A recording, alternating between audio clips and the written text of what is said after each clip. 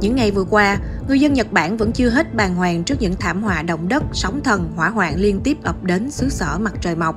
Thế nhưng trong không khí ảm đạm đó, vẫn có những điểm sáng khiến nhiều người ấm lòng. Điển hình như trong trận động đất kinh hoàng, hình ảnh nữ phát thanh viên đài NHK vẫn giữ nguyên vị trí và không ngừng hét lên, bảo mọi người chạy đi đã khiến nhiều người xúc động.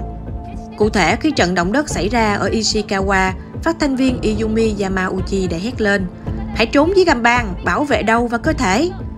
Sau đó, khi Cục Khí tượng Nhật Bản đưa ra cảnh báo sóng thần lớn, Yamauchi lại lập tức hét lớn. Tính mạng của các bạn đang gặp nguy hiểm, hãy chạy đi, đừng xem tivi nữa, hãy chạy đi, đừng nhìn lại, hãy chạy ngay, chạy, chạy đến vùng đất cao hơn. đừng bị nứt, chạy cẩn thận, đừng để bị thương ở chân.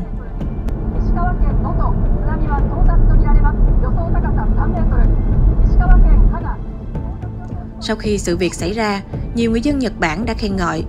Cô ấy thật chuyên nghiệp, cô ấy hét lên suốt thời gian đó, việc đó tốn rất nhiều sức lực. Cô ấy đã lớn tiếng đưa tin rất lâu, tôi thật sự cảm nhận được mong muốn bảo vệ tính mạng người dân của cô ấy.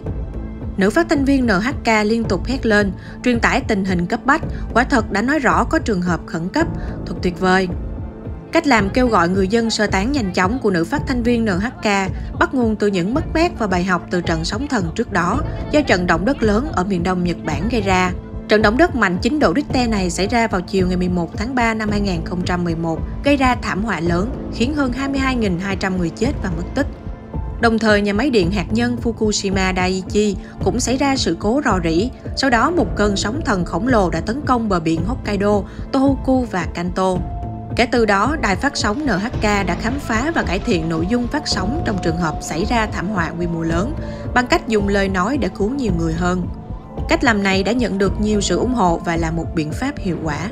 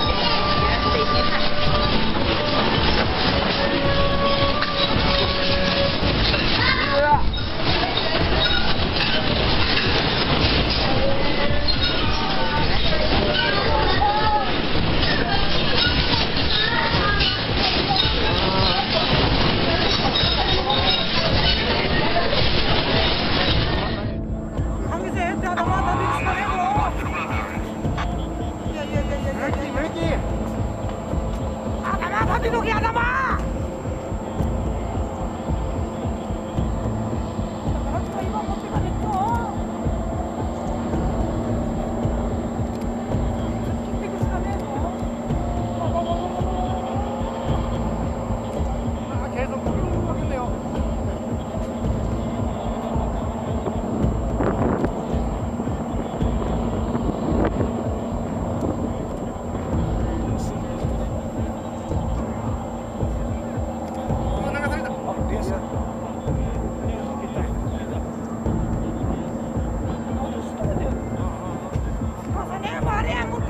麦割り麦割り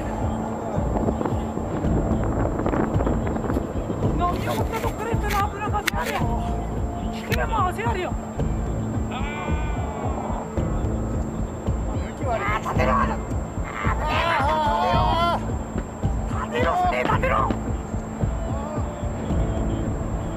目立てる歩い